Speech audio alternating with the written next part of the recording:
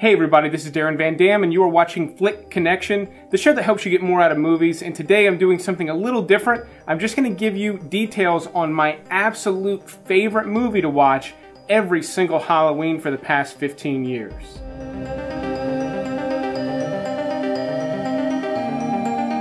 Now before we get to my absolute favorite, I've got a few friends from YouTube that helped me make this video. They submitted a quick little Flick Connection style review about their favorite movie to watch every Halloween. So check out what they have to say, you'll get some additional recommendations, and then I'll be right back with my pick. Hi, I'm Emma from Spooky Astronauts, and I'm gonna tell you about Ghostwatch, a TV movie. Yes, wait for it though, that you can't miss this Halloween. The movie first aired in 1992 on Halloween across the UK on the BBC. The movie was presented as a live cross on TV with four well-known and well-respected presenters who worked with a crew to investigate a haunted house in suburbia. But the reason this was such an amazing historical cinematic experience, I guess TV experience, was the fact that people didn't know it was real and it was presented like the War of the Worlds or Blair Witch. The TV show shut down BBC's switchboards because people were calling for help, and it's also the first ever TV show to make it into the British Medical Journal for having caused post-traumatic stress disorder on children. You cannot make this stuff up. Watching this TV movie today, of course it did not age as well as we hoped it would have, but you can definitely see the movie magic and see why everyone was so terrified tuning in. When Darren asked me to come on his channel and suggest a movie that's perfect to watch around Halloween, my mind jumped instantly to Halloween 3 Season of the Witch. I saw this movie for the first time when I was somewhere between 7 and 9 years old, and I'm really glad that when I was younger I didn't see that bumper that said it was a Halloween movie because I would have hated it once I realized Michael Myers wasn't in it, just like a lot of other people out there. To this day though, I think it's awesome that it uses Halloween as a Celtic holiday and kind of digs into its roots, and the scene when the kid's head melts into a bunch of snakes and other insects that are giving me chills to think about right now is just plain terrifying. It's kind of bittersweet for me that this movie never caught on because as much as I loved the new Halloween movie, the idea of killing the shape in Halloween 2 and then continuing the franchise as a yearly anthology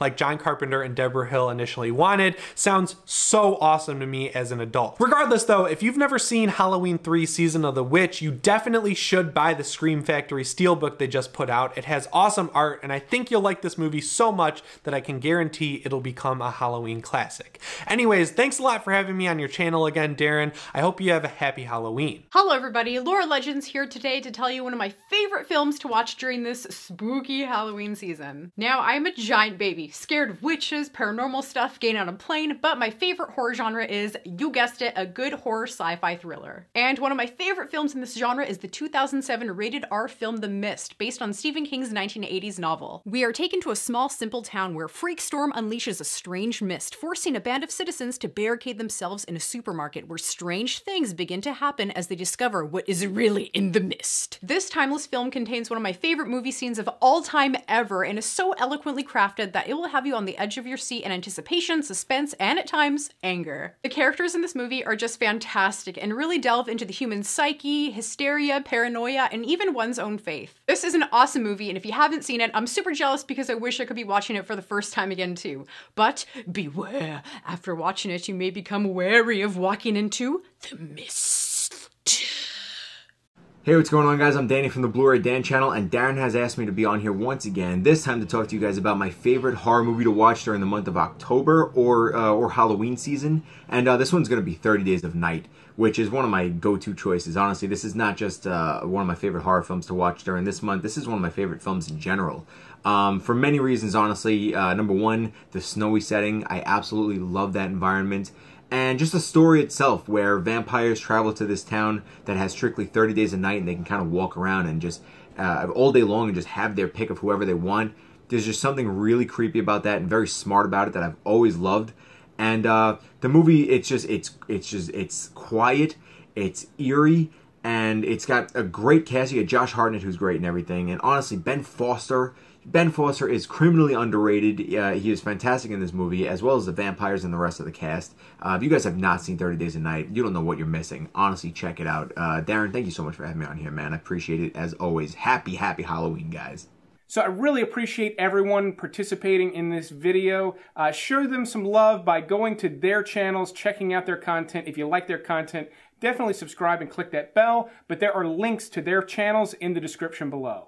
Now, my absolute favorite movie to watch every single year, with no exceptions, is Dead Alive, directed by Peter Jackson. I love everything about this movie. I discovered it, like I said, about 15 years ago. It was late high school, and it, at the time, was the goriest thing I had ever seen. And at that time, at least at its release in 1992, long before I graduated high school, uh, it was the goriest movie on record, at least one of them.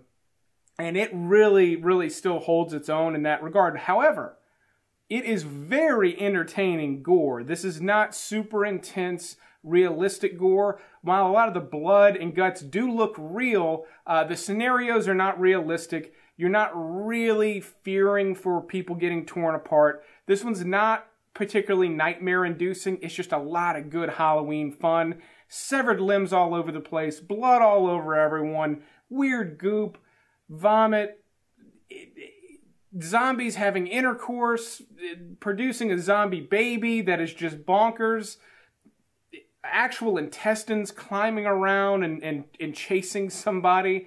Uh, an old woman eats a dog. There's a gypsy. There's a a giant monster. There's, it, it, there's so much going on in this movie, and it is all so much fun. Now, the only problem with Dead Alive is it is very difficult to watch, and I don't mean because it's gory. I mean it's difficult to get your hands on it. Now, obviously, I have my own copy. I've had it for a long time, but the DVD is currently over $50 on Amazon, so do not seek it out there, at least not right now. You could go back. The price is probably going to drop eventually, but it is Halloween. People are trying to get their hands on it, and stock is limited because there's just a limited number of these DVDs left out there.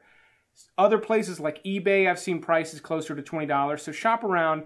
If you're into practical effects, uh, zombies, uh, gory movies, fun Halloween movies, if you're into any of that, this movie is the holy grail of all of that, in my opinion. However, I don't want to leave you hanging. This is Flick Connection. I tend to give you recommendations on Amazon Prime, Netflix. So, to back this one up, Peter Jackson previously did a movie called Bad Taste. It is currently available on Amazon Prime. I also recommend that.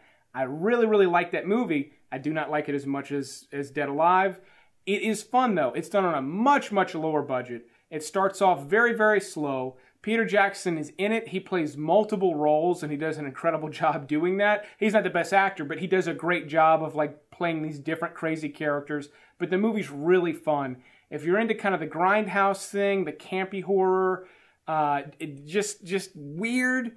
If you're into weird, uh, Bad Taste is a great way to go. Even though it starts off slow and you're going to kind of be like, what, the, what is Darren smoking? Why is he recommending this? I'm telling you, the wheels come off of this one. There's explosions and muscle cars and shootouts and I, I don't want to get into too many more details because it's major spoiler territory, but I do recommend that movie. You can check it out right now on Amazon Prime.